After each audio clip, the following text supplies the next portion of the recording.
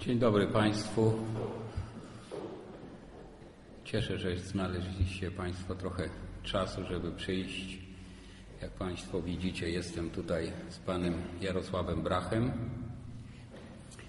i chciałem Państwu przekazać bezpośrednio od nas informacje odnośnie PKS-u. Otóż w piątek, w sobotę minioną y, Rada Nadzorcza poprosiła mnie na swoje spotkanie, przedstawiając sytuację, jaka jest w naszym PKS-ie, szczególnie sytuację finansową, że jest bardzo źle i że pan prezes Sobieszczyk nie jest w stanie nic dobrego zrobić już dla tego PKS-u, że powinny być przeprowadzone zmiany i inne osoby pokierować tym, tą firmą.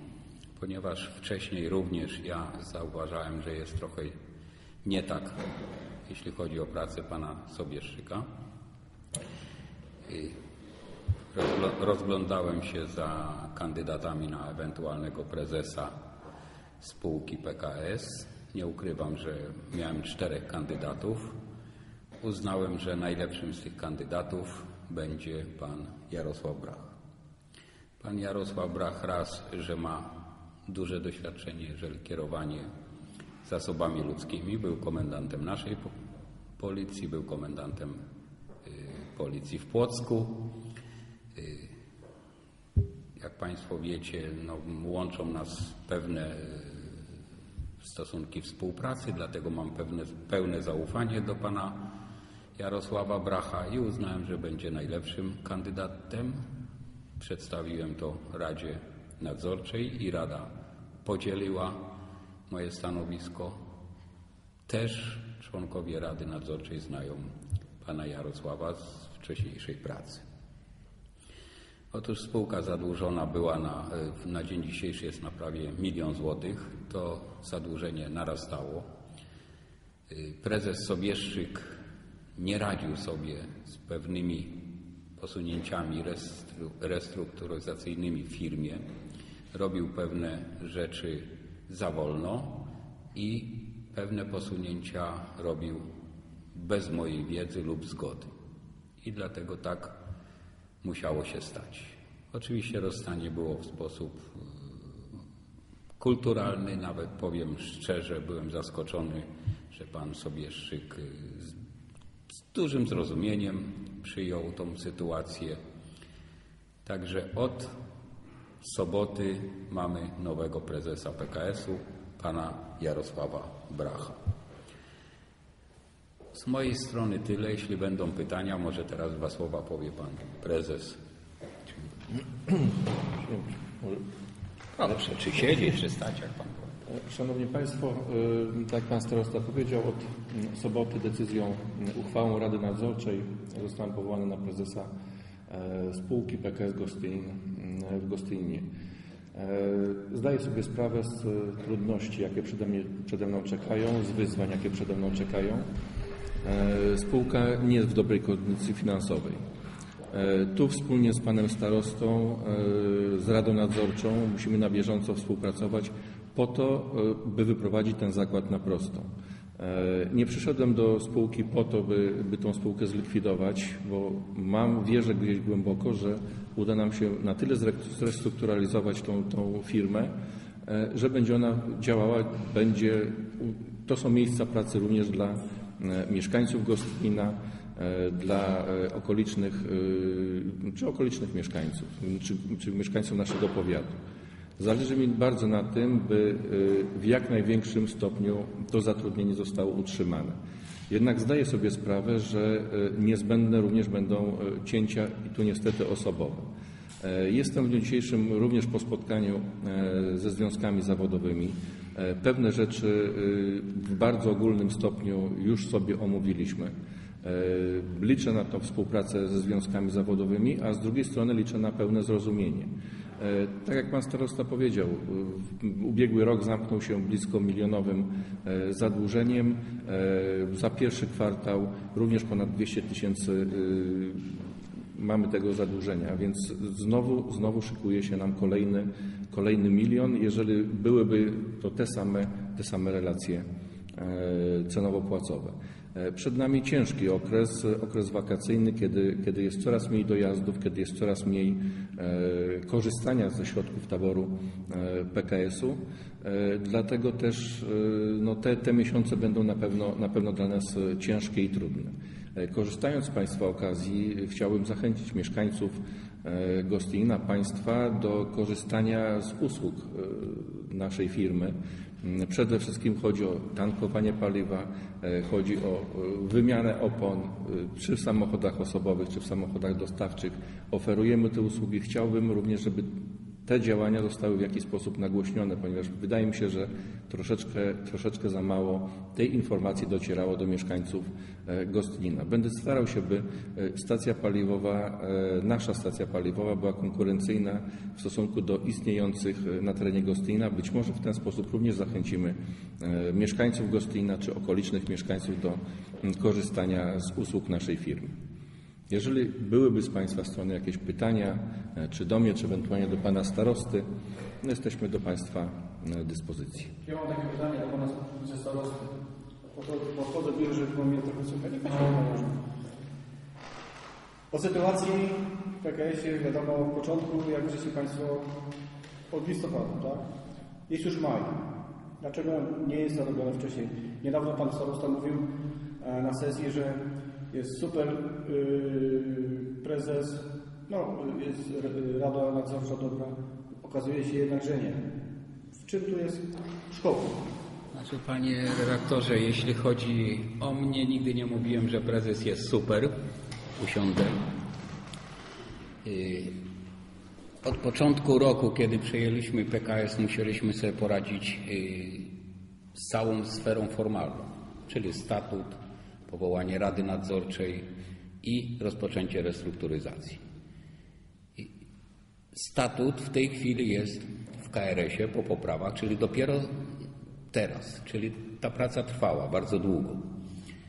I tak jak mówię, nigdy nie mówiłem, że prezes jest super, tylko że od prezesa będę wymagał i z prezesem, kiedy spotkałem się pierwszy raz na początku roku, powiedziałem, że albo sobie poradzi z firmą, albo nie będzie żadnych sentymentów, zostanie natychmiast odwołany. Prezes wykonywał, współpracował ze mną, wydawałoby się bardzo dobrze, natomiast uważam, że był zbyt miękki, jeśli chodzi o załogę i związki. I tutaj pewne posunięcia nie wykonał lub nie wykonał tak, jak ja sobie życzyłem i dlatego to, to, to działanie było natychmiastowe. Rada nadzorcza powiadomiła, jak wygląda sprawa i natychmiast wymiana prezesa. Także do tej pory to się układało, prezes przedstawiał pewne rozwiązania i je realizował, ale w pewnym momencie jak gdyby duży wpływ na niego miała załoga i związki i nie do końca. To ja zadam jeszcze jedno tylko pytanie, już nie będę się dam możliwość innym dziennikarzom. Panie prezesie, od czego pan zacznie?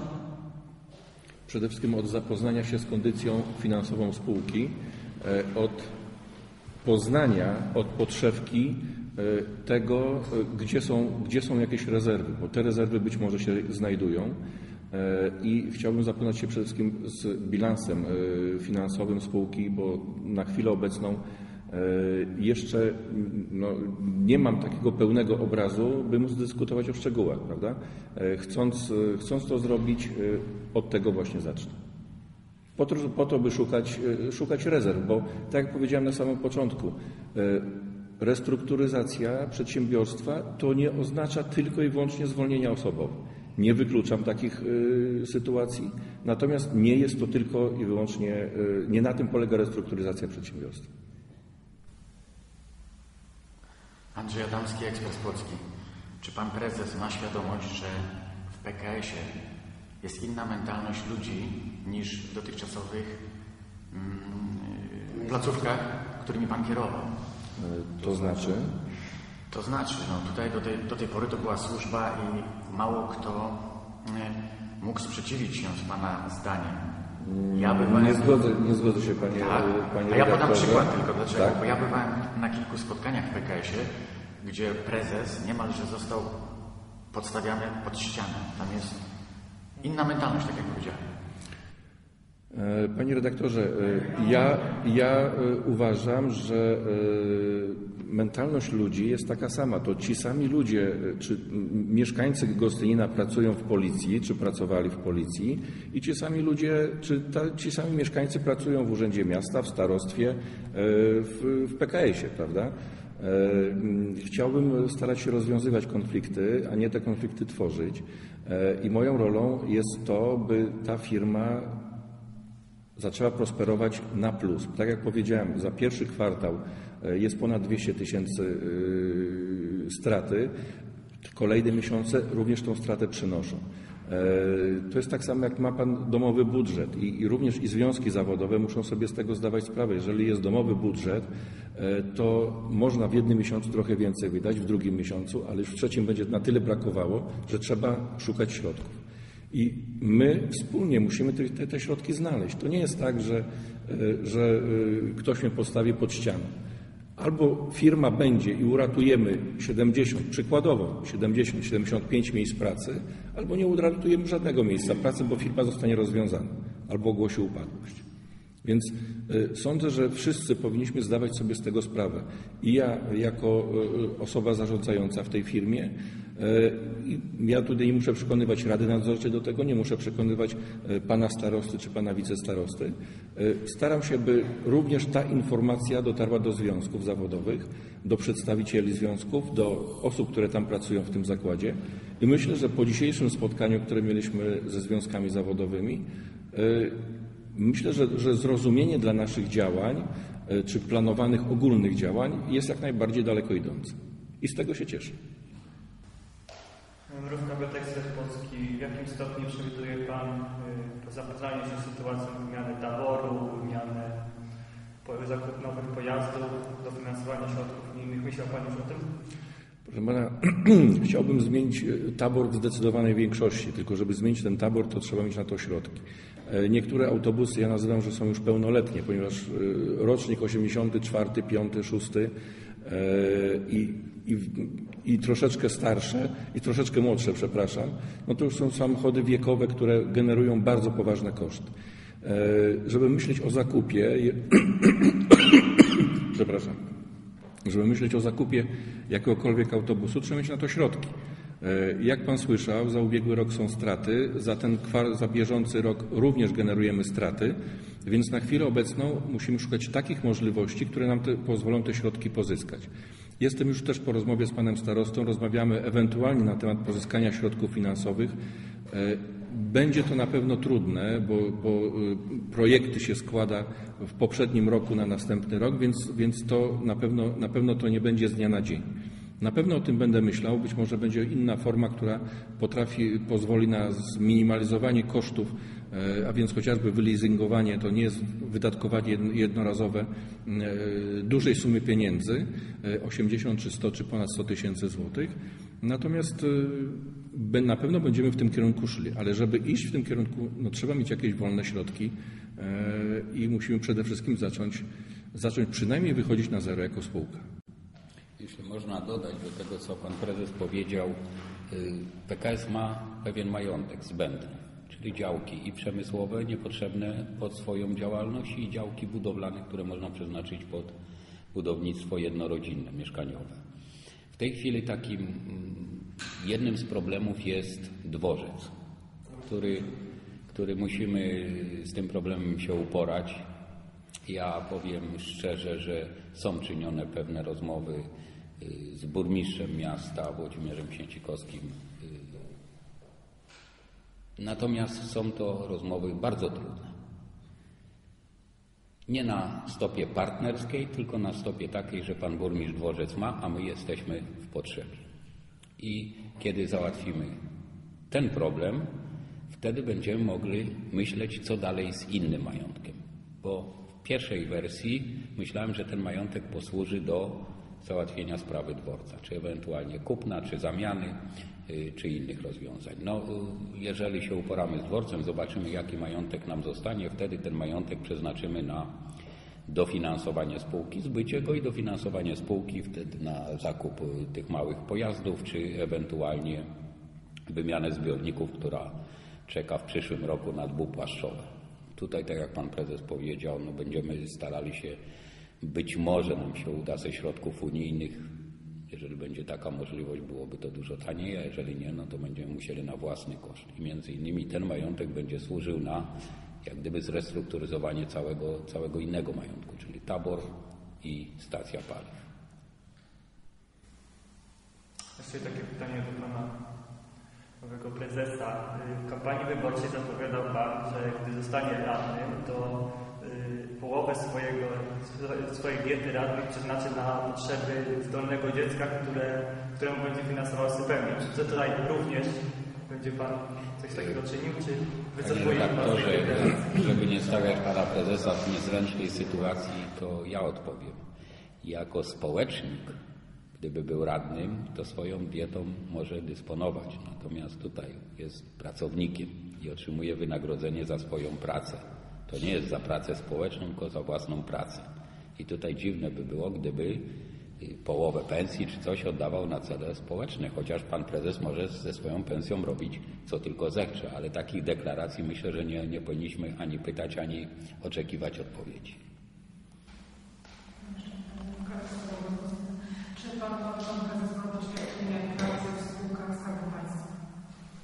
E, Nie, jeżeli zapoznała się Pani w jakim stopniu z moją drogą życiową, generalnie zajmowałem się e, służbą e, w służbach mundurowych.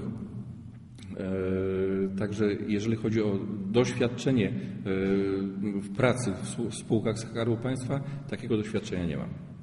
Ja mogę tylko dodać, że między innymi dlatego pan Brak został prezesem, że jest tutaj w środowisku znanym, znaną osobą, ma bardzo dużo kontaktów, łącznie z wójtami gmin naszego powiatu, a to jest bardzo ważne przy negocjacjach, przy przetargach na y, świadczenie usług przewozowych dla tych gmin, które nie zawsze były w sposób należycie do tej pory wykonywane. Także tutaj liczę na pana prezesa, że wspólnie w rozmowach z wójtami osiągniemy lepszy wynik niż do tej pory. Pan prezes ma również y, bardzo wielu kolegów, znajomych i być może dzięki swoim znajomościom też wykorzysta y, możliwość rozszerzenia działalności właśnie na, na firmy, które, które prowadzą jego koledzy, czyli sprzedaż paliw, usługi wulkanizacyjne i inne, czy reklamowe, czy, czy wynajem powierzchni i, i, i innego typu. Konkretnie są, Proszę? Jest końcówka maja, za miesiąc.